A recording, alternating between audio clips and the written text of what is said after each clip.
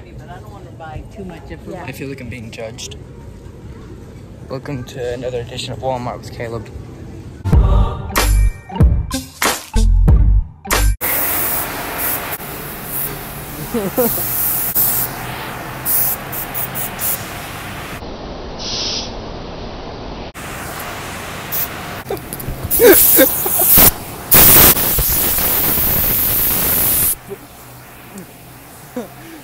hey, okay, I got it.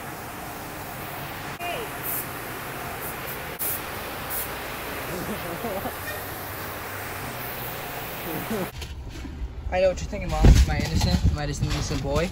No, I got a horror book.